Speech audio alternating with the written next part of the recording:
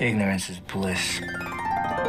Until it comes to bite you in the ass. This past weekend, I did a wedding. I used my Lumix S5 in order for me to capture majority of the video for the wedding, but I also switched over to photo at times. During the course of the day, I didn't have any issue. Whether it be indoors, outdoors, whatever the case may be, I shot everything in natural light. Up until the location shoot, as well as the reception, I needed to switch now over in order for me to get an external light source in order for me to work everything was going fine.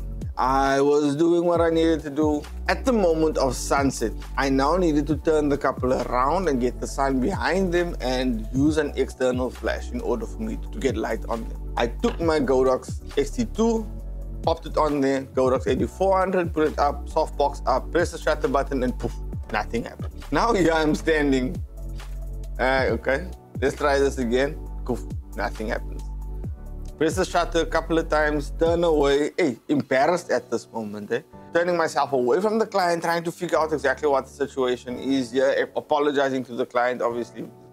Because I myself don't know what the hell is going on here. Everything was working fine.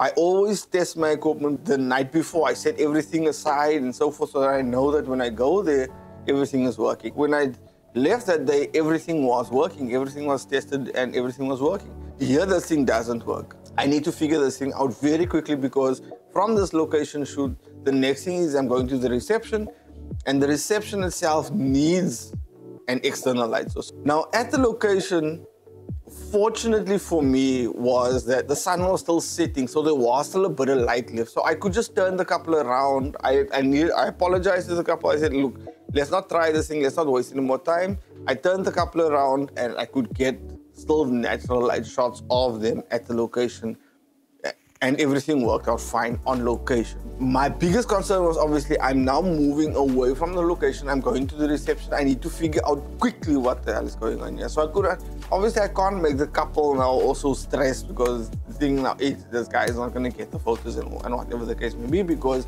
he's having problems with his equipment. The first thing that I did when I got to the reception, I went and I sat in the corner on the ground, got the camera, got the flash, got the trigger, and was like, okay, what's going on here? Flash, nothing, doesn't work.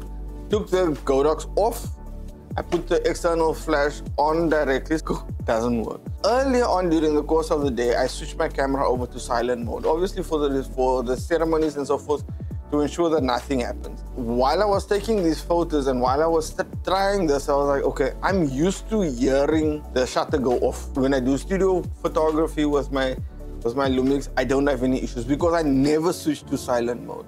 So I switched it off from silent mode and shot again and it works. So I was like, oh, okay. So this is the issue. So I got this, I got everything went back to normal, got the flash on, the reception was covered perfectly. I got everything that I needed at the reception.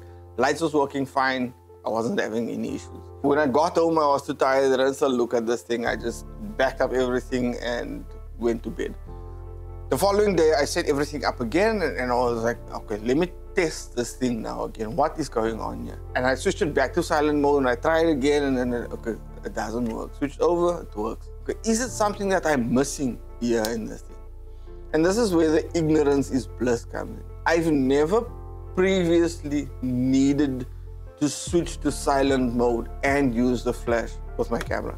Because I've consistently been in a situation where it's either in studio or alternatively it's me shooting product photos and stuff like that and I will use the Lumix S5 for that. And I don't have any issues with it until the day we're actually at the ceremony and I've always used my Nikon Z6 previously. So I thought let me let me cover majority of the wedding and everything with the Lumix S5. And then I went and I did a Google search and I was like, okay, is this a problem? Is it is it the problem with the camera? Is it the problem with the trigger? Is it, where's the and then I got I saw a video of Panasonic where Panasonic actually says, okay, Namely, you're not getting the absolute best image quality possible from your camera when you're in electronic shutter mode.